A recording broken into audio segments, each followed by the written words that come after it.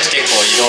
あの FCJ のピットとポルシェのピットが別なんで移動が大変です。はい。普通普段は、えー経験できないようなことをさせてもらってます、そうです。F1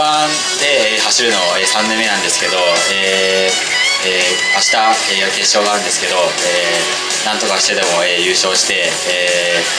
平川亮という名前を、えー皆さんに知ってもらえしくお願いします。はい。そうですねあの去年の SRS を卒業したのであの鈴川ホームコースでも気合バッチリで準備万端です。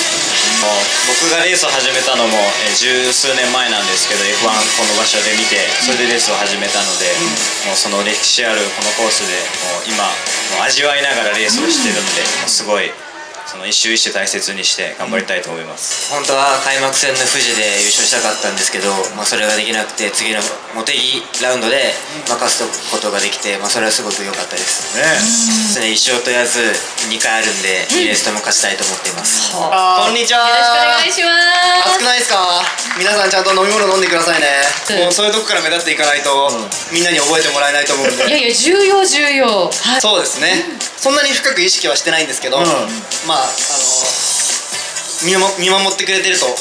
感じてます、フラストレーションすごく溜まってるんで今までのレースの、ここで爆発させたいと思います、えーっと F1 って言いたいんですけど実は来週富士で行われるウェックみたいなあのルマンとか耐久レースで。はい車の限界っていうのに挑戦したいなと思いますおーいいねもちろんそれが最大の目標ですはい、そうです。今年から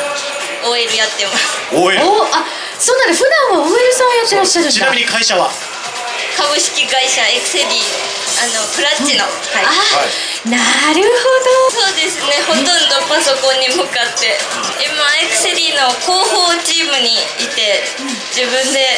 エクセディの宣伝をしています。うんやっぱり体力は必要ですしこれからもっともっと上にステップアップしていく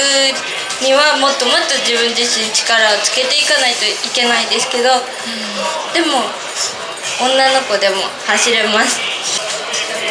まだまだ実力ないですけど将来は